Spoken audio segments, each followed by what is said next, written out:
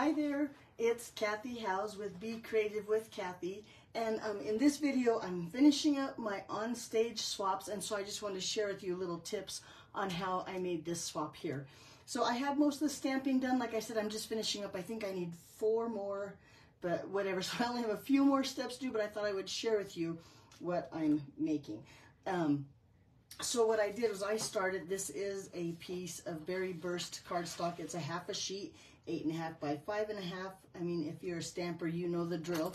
Scored at four and a fourth, and I cut it out, and now I have my card base here, right? And then from that delightful eclectic designer series paper, and I showed you that on another swap, so but you can find it on my online store. All the measurements and supply list are um, on a link. Well, if you're on YouTube, they're on a link below. But otherwise, you'd have to go to YouTube, Be Creative with Kathy. Dot, no, that's YouTube, Be Creative with Kathy. At be you. Let me start over. At becreativewithkathy.com, you can find all the measurements and a supply list. That's the best place to go. just go there. Um, but these two pieces here are just the front and the back, and that's what we're going to use. And these, I believe, are four inches. Let me measure four inches by two and three fourths. And it doesn't have to be perfect because we're going to, cut the four inch counts, but this part doesn't. So we're going to take that striped or what I call the bottom. And with my tape runner here, I'm going to just put a little bit of tape on the back and line this up on the bottom of that card base that we just folded in half. So it looks like that. Then on the top, I'm going to take this piece and now put my tape on the stripe side. So then we have the two different pieces on there, or patterns, I mean, on there, and line it up just like that. I'm going to try to get those patterns straight. Now we're going to put that ribbon in between so they don't have to be too straight. That ribbon can um, correct any imperfections you have right here. So then the pencil, because now I want to figure out where to put my ribbon. So then with just a pencil, I'm going to put a line where those two pattern papers meet just to the side. And this is so when you line it up with your punch. Now this is the, I think it's called the best trio punch. It's one of my favorite punches just because it has this little notch right here.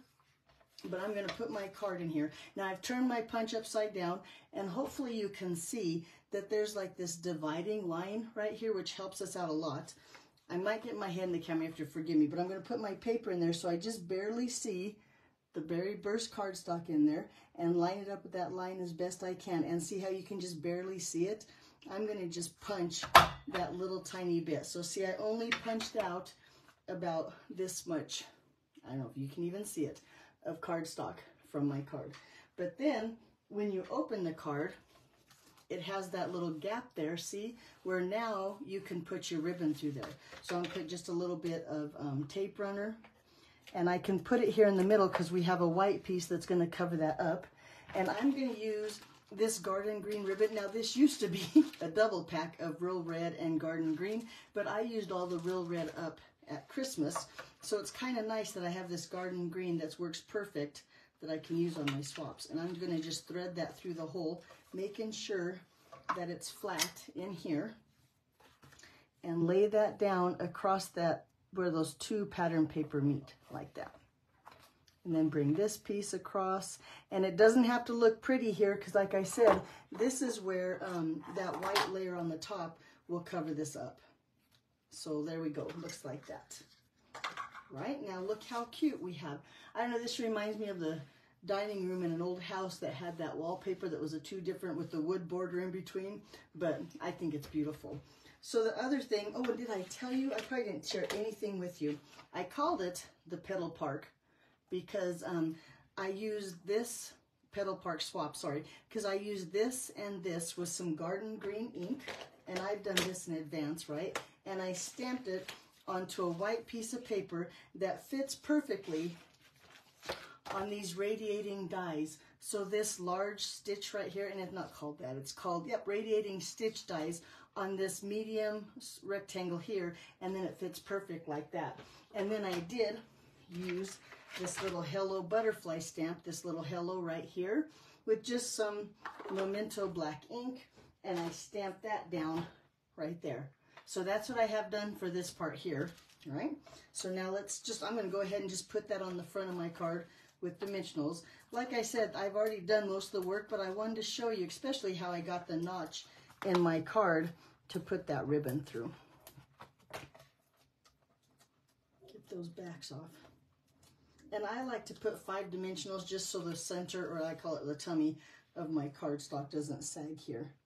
And I'm gonna, does that look pretty good? Look pretty centered right there? Whoop, now let's try to get it straight and centered. now he's crooked that way. Oh my, okay. There we go. Now it looks pretty good just like that, yeah?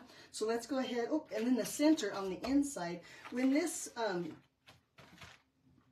stamp set or bundles came out, there was a, a, what they call a mega bundle. And so it was two stamp sets. One is a stamp set and a punch that I'll show you in a second. The other one is this sentimental part that comes with these dies, right? And I use this stamp and this on the inside right here. The same with that berry burst and the petal no, bubble bath. And then the dies, I'll be honest with you, I haven't used the dies as much as I thought, but what I do use is these little tiny flower dies. And let me show you something I made. Now, if you're Glenda or if you're Leanne and you don't want to see your roommate gifts, be sure and look away because I made little name tags. Look how cute. Can you see that with the G? I did it in a little bit of a gold foil with some designer series paper. But here are those little flowers that's from that die set. So I love cutting those and then yeah, I love cutting those little feller flowers out and using those on projects like that. So there you go. That's and then this is Leanne's. So I don't want Leanne to feel left out. But that's what I made for roommate gifts. And I put them in a little bag and added candy and other stuff in there to make their little roommate gifts fun. But like I said, I love using that die set for the little flowers and the extra stuff that comes with it. Okay, so let's go ahead and just put that. And this is just basic white, five and a fourth by four that I'm gonna set on the inside there. Now let's make those flowers that go on the front. So using that um, Petal Park, I'm gonna use these two stamps here. It's two-step stamping, so I'm going to do my darker color first, which is that Berry Burst, the same color as our card base. And look how I love these stamps because they're all stained. And let me get my Pierce mat out too, so I get a nice image, especially with the bubble bath because that's a nice solid um, stamp.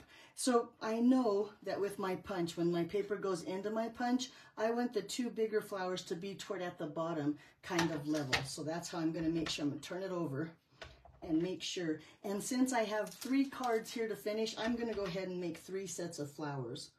So I'm gonna stamp one here. And all I'm doing is holding it down, letting that ink sink in so I get a really nice image. And then I'm gonna set one over here.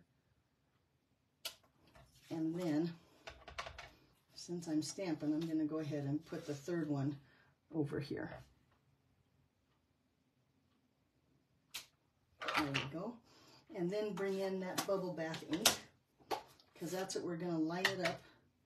And again, now I know that I have those two bigger flowers at the bottom, it'd be even easier to line up. But if you kind of come in and you hover, you got that darker color underneath, it's kind, it's, it's pretty easy to line up. So I'm let that ink sink in and get a good image there. Yeah, look how pretty that is.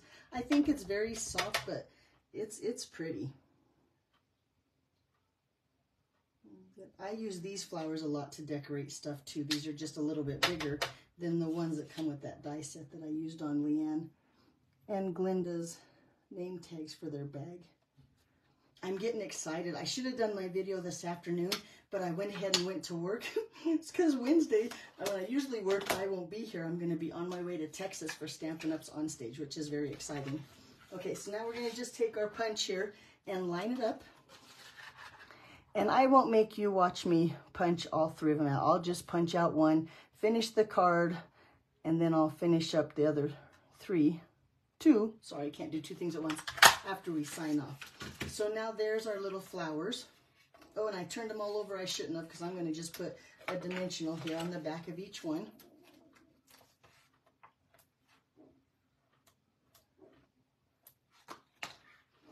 Take those dimensional backs off.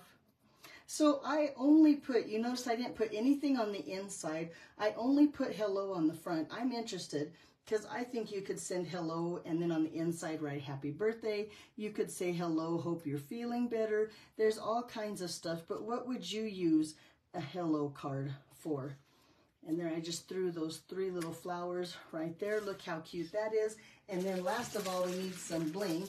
And these um, iridescent rhinestones come in three different sizes for three different flowers, which is absolutely perfect. Get my take your pick tool here. Get that largest of those rhinestones. Whoops. Don't sit upside down, set it the right side up. And then a medium one right here on the medium flower. I mean, doesn't it just scream?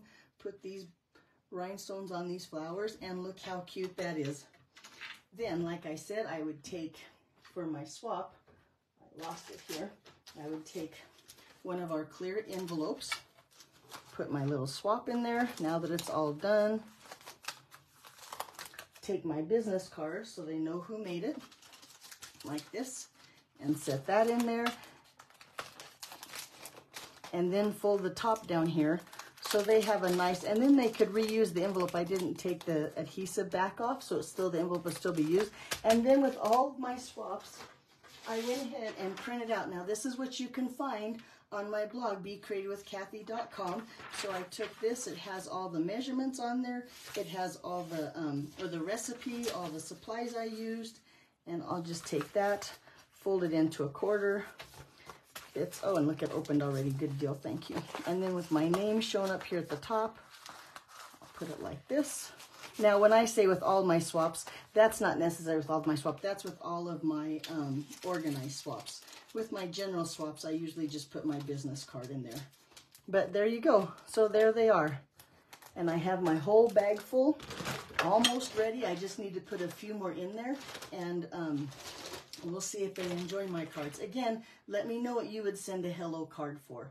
And just to tell you, normally I am here Monday about 1.30 in the afternoon. So next Monday, I'll just get be getting back and I'll take all my swaps that I received after I passed all mine out and I'll share them next Monday here at 1.30. So I hope you can come and join me. Alrighty, thanks for watching and I'll see you later next time. I'll see you next time. Bye-bye.